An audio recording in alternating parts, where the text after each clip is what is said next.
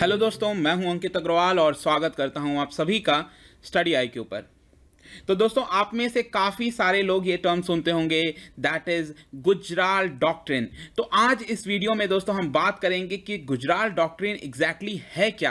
क्योंकि आप देखिए, यहाँ पर आप में से काफ़ी लोगों को ये नहीं पता होगा कि आखिर किसको टारगेट करती है। हम सबको तो कहीं ना कहीं ये पता है कि इंटरनेशनल अफेयर से रिलेटेड है। लेकिन एग्जैक्टली exactly ये किस कंट्री को पर्सपेक्टिव में लेकर चलती है? जैसे कि क्या हम यूएस को ले रहे हैं यहाँ पर साथ में? क्या फिर यूएस के साथ जर्मनी है या फिर जापान मतलब या फिर हम नेबरहुड पॉलिसी की बात कर रहे हैं तो एग्जैक्टली exactly किसको टारगेट करता है? तो यहाँ पर रिसेंटली क्योंकि जो इंद्र कुमार गुजराल हैं, जो हमारे ट्वेल्थ प्राइम मिनिस्टर थे हमारे देश के, उनका रिसेंटली हंड्रेड बर्थ एनिवर्सरी गुजरा है। तो यहाँ पर हमारे लिए एक अच्छा मौका बनता है कि जो गुजराल डॉक्ट्रिन है, इसको समझने का और क्या आज के टाइम में इसका कितना रेलेवेंस है?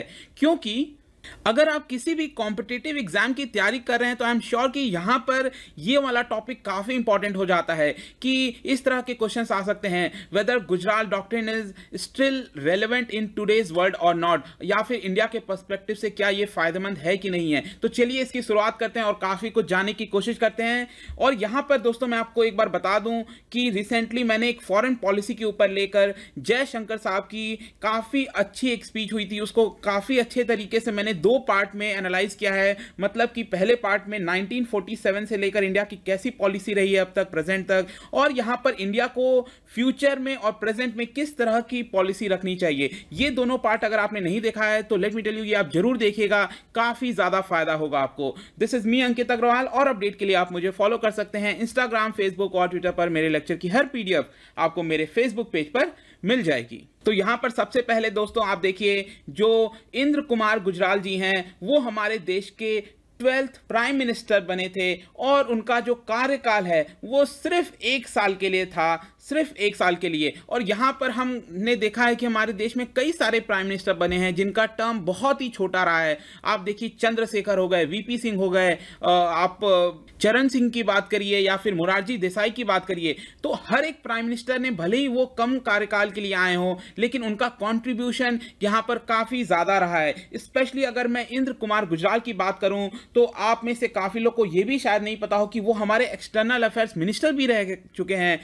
सिर्फ़ सिर्फ़ यही नहीं दोस्तों ही is also one of the fewest जो कि अम्बेसडर रह चुके हैं India to the Soviet Union जो कि यूएसएसआर था उस समय, वहाँ पर वो सर्व कर चुके हैं एज एम्बेसडर 1976 से लेकर 1980 तक। और इसी की वजह से क्योंकि उनका एक्सटर्नल अफेयर्स में इतना ज़्यादा बेहतरीन एक्सपीरियंस रहा है, जिसकी वजह से उन्होंने इस तरह की गुजराल डॉक्ट्रिन लाने की कोशिश की थी। तो यहाँ पर इंट्रोडक्शन में देखिए दोस्तों, यहाँ पर थोड़ा समझेंगे कि जो इंडिया की पॉलिसी है वो कैसी रही है। तो आपने देखा होगा कि जो इंडिया का की प्रिंसिपल रहा है फॉरेन रिलेशन को लेकर फॉरेन पॉलिसी को लेकर तो यहाँ पर नेबरहुड फ़र्स्ट ये वर्ड आप अक्सर सुनते होंगे। तो यहाँ पर हमें समझना होगा कि हमारा जो पड़ोसी मुल्क है, वो हमारे लिए बहुत इंपॉर्टेंट होता है। क्योंकि कोई भी देश तरक्की नहीं कर सकता, किसी भी तरह से अगर उसका जो आसपास का माहौल है, वो सुरक्षित ना रहे।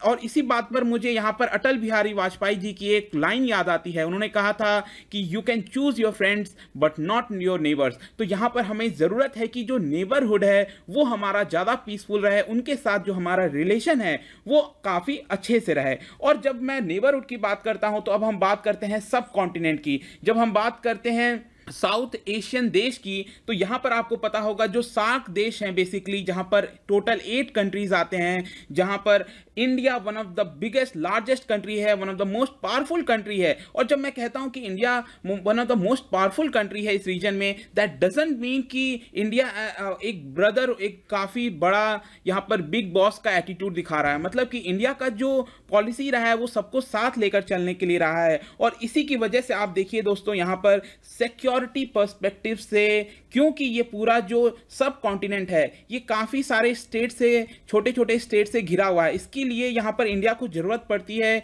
कि उसका जो सिक्योरिटी है, पूरे आसपास वो काफ़ी बेहतरीन हो, काफ़ी अच्छे से हो। क्योंकि यहाँ पर पिछले पास्ट में आपने देखा होगा, जो एक्सपीरियंस रहा है इंडिया का, वो काफ़ी ज़्यादा डिफरेंट रहा है। कहने का मतलब स्पेशली अगर हम वेस्टर्न बॉर्डर्स की बात करें तो यहाँ पर सिक्योरिटी थ्रेट काफ़ी ज़्यादा होते थे। स्पेशली अगर ईस्टर्न बॉर्डर की तरफ़ भी अगर आप देखिए तो 1971 तक वहाँ पर भी काफ़ी ज़्यादा प्रॉब्लम होती थी, जहाँ पर माइग्रेशन और इस तरह की चीज़ें काफ़ी ज़्यादा देखने को मिलती हैं। और साथ में अगर हमारा सिक्योरिटी बेहतर नहीं होगा तो यहाँ पर हमने देखा कि जो ड्रग ट्रैफिकिंग की समस्या है आपने सुना होगा गोल्डन ट्रायंगल और गोल्डन क्रिसेंट जैसी चीज़ें आपने सुनी होगी, जहाँ पर डायरेक्ट ट्रैफिकिंग हो गया, साथ में यहाँ पर ट्रेड के साथ साथ इन सारी चीज़ों की भी तस्करी की जाती है। और इसी की वजह से यहाँ पर इंडिया अगर नेबर को साथ में लेके चलता है तो ये वर्क कर सकता है एज अ कनेक्टर मतलब कि बाकी वर्ल्ड के साथ ये हमारा एक कनेक्टिंग लिंक बन सकता है। और अब हम आते हैं अपने इंडिया का जो विजन रहा है।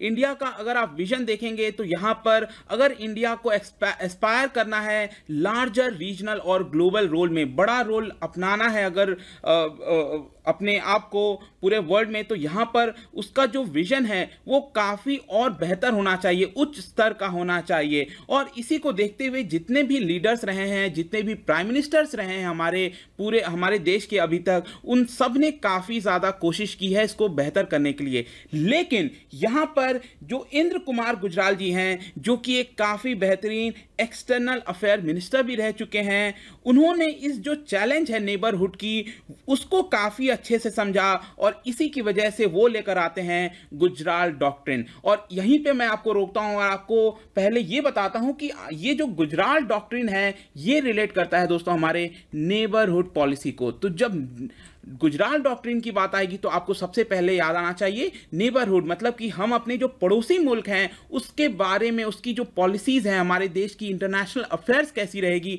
उसके बारे में ये बात करता है बेसिकली और जो गुजराल डॉक्ट्रिन है, इसको लाया गया था in September 1996 by Inder Kumar Gujral ji. और ये एक तरह का प्रिंसिपल पुट करता है, कई सारे प्रिंसिपल जो मैं आपको बताऊँगा, ताकि जो हमारे साउथ एशियन देश हैं, जहाँ पर सार कंट्रीज़ की मैंने आपसे बात की जो कि आपका पाकिस्तान, मालदीव, श्रीलंका, इंडिया, बांग्लादेश, सभी जो एट कंट्रीज़ हैं, वो इसमें शामिल होते हैं। और जब मैं गुजरात डॉक्ट्रिन की बात करता हूँ तो यहाँ पर टोटल आपको ये सिंपल फोर पॉइंट्स याद रखने की ज़रूरत है। और यहाँ पर इंद्र कुमार गुजराल जी ने जब ये डॉक्ट्रिन रखी तो उसमें जो सबसे पहला ये जो पार्ट था, वो ये था कि no South Asian country will allow its territory to be use against the interest of another country of the region मतलब कि यहाँ पर जो भी आठ देश हैं हमारे तो यहाँ पर कोई भी देश ऐसा काम नहीं करे जो कि विपरीत हो दूसरे देश के इंटरेस्ट से। मतलब कि अगर इंडिया का किसी चीज़ को लेकर इंटरेस्ट है इंडिया चाहता है कि यहाँ पर टेररिज्म ना फैले तो जो पड़ोसी मुल्क हैं तो यहाँ पर इंडिया उनसे एक्सपेक्ट करता है कि वो ऐसी कुछ काम ना करें जिसकी वजह से इंडिया में टेररिज्म फैलने की जो है प्रोविज़न आए। तो यहाँ पर पहला पार्ट ये हो गया। दूसरा जो डॉक्ट्रिन है, यहाँ पर आप देख सकते हैं none will interfere in the internal affairs of another मतलब कि कोई भी देश, चाहे वो इंडिया बड़ा देश क्यों ना हो, चाहे छोटे से छोटा देश क्यों ना हो, जैसे कि भूटान इंडिया या कोई भी देश यहाँ पर दूसरे देश के इंटरनल अफेयर्स में इंटरफेयर नहीं करेगा। तो ये काफ़ी अच्छी चीज़ थी, ताकि यहाँ पर आप देख सकते हैं कि किस तरह से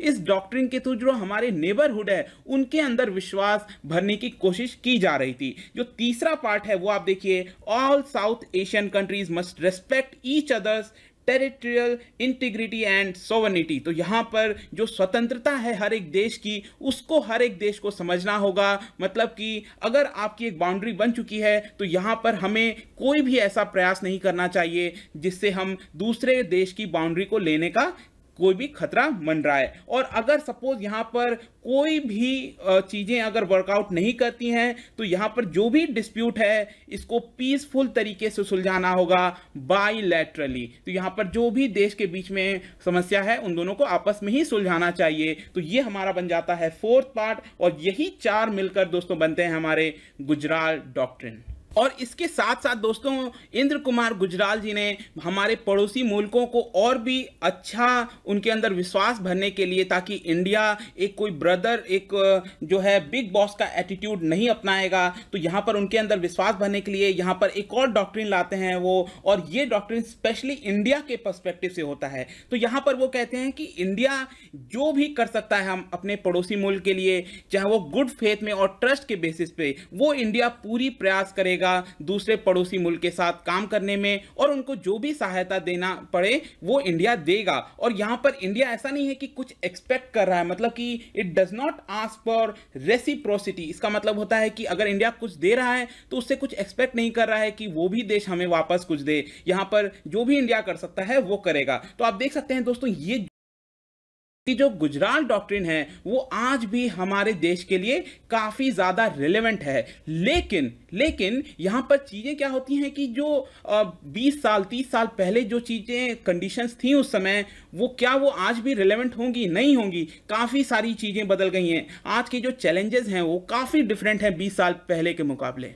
जैसे कि आप यहाँ देख सकते हैं कि जो चाइना का फुटप्रिंट है, वो काफ़ी ज़्यादा एक्सपैंड हुआ है। पिछले 30 सालों से जिस तरह से इकोनॉमिकली चाइना बढ़कर आया है पूरे विश्व के सामने, उसकी वजह से इंडिया को भी काफ़ी ज़्यादा समस्या हुई है। तो यहाँ पे एक तो चाइना का फैक्टर आ जाता है, साथ में जो कनेक्टिविटी की जब भी इश्यूज़ आते हैं मतलब कि जब भी इंडिया या साथ में कोई भी पड़ोसी मुल्क कनेक्टिविटी की बात करते हैं उस, वहाँ पर कुछ भी काम होता है तो सिक्योरिटी कंसर्न्स की वजह से हमेशा उसके अंदर बाधा आ जाती है। तो ये भी एक चैलेंजेस है। और रिसेंटली आपने देखा होगा दोस्तों कि जो इंडिया का करंट स्लो डाउन चल रहा है हमारे इकोनॉमी का, उसकी वजह से इंडिया के लिए भी काफ़ी मुश्किल आ गई है कि वो जो ट्रेड है, वो हमारे पड़ोसी मुल्कों के साथ और खोल पाए, क्योंकि यहाँ पर जो डोमेस्टिक इंडस्ट्रीज़ है, उनके अंदर भी जो है खतरा मंडराता है। तो यहाँ पर इसमें भी एक कुछ चैलेंजेस हमें साफ़ देखने को मिलते हैं। अब इन सारे चैलेंजेस के साथ हम गुजराल डॉक्ट्रिन के साथ साथ क्या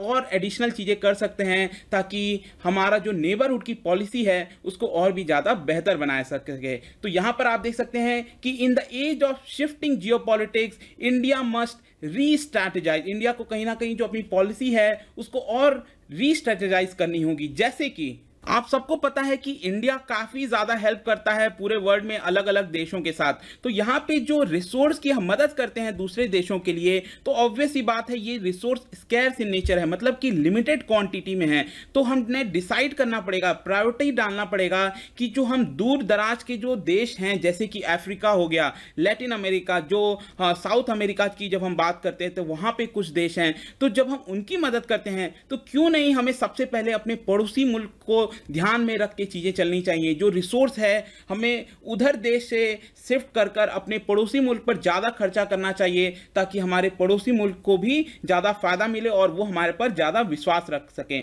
साथ में जो कनेक्टिविटी है, इसको और तेज़ी से बढ़ाने की ज़रूरत है। ये बहुत इंपॉर्टेंट चीज़ है। आप देखिए, कोई भी एग्ज़ाम्पल ले लीजिए पूरे विश्व में, जब भी कनेक्टिविटी आई है दो देशों के बीच में तो वहाँ पर people to people talk political stock जितने भी होते हैं, इस तरह की चीज़ें बढ़ने से जो विश्वास है, वो काफ़ी बेहतर होता है। तो आप देख सकते हैं, पिछले कई सालों से जैसे कि पाइपलाइन बिछाने की जो बात चल रही थी, ईरान से लेकर पाकिस्तान, इंडिया तो काफ़ी ज़्यादा दिक्कतें आती हैं। वी जो पूरा प्रोजेक्ट है, उसमें दिक्कत है। नेपाल अगर बांग्लादेश में जाना चाहता है कनेक्टिविटी के थ्रू काफ़ी सारी प्रॉब्लम्स हैं। तो यहाँ पर कहीं ना कहीं जो कनेक्टिविटी है, उसको एक प्रायोरिटी बनानी पड़ेगी। और साथ में जो सिक्योरिटी कंसर्न्स है, इसको तो हम छोड़ नहीं सकते किसी भी तरीके से। तो यहाँ पर हमें कॉस्ट इफ़ेक्टिव एफिशिएंट और रिलायबल टेक्नोलॉजी जो आज पूरे देश में अपनाई जा रही है अलग अलग पार्ट्स में तो यहाँ पर उसको भी लाने की काफ़ी ज़्यादा हो सकता है। तो यहाँ पर एट लास्ट दोस्तों हम कंक्लूजन में कह सकते हैं कि इंडिया को कुछ ऐसा करना होगा कि जो हमारे नेबर्स हैं, उनके लिए जो ट्रांजिट का पूरा चीज़ है, जो कनेक्टिविटी का प्रॉब्लम है, वो अपने आप में इंडिया एक नेचुरल चॉइस बन जाए। मतलब कि वो इंडिया के थ्रू कनेक्टिविटी ज़्यादा से ज़्यादा बढ़ाने की कोशिश करें। जैसे कि आप देखिए किस तरह से चाइना नेपाल के साथ मिलकर जो कनेक्टिविटी को फैलाने की कोशिश कर रहा है।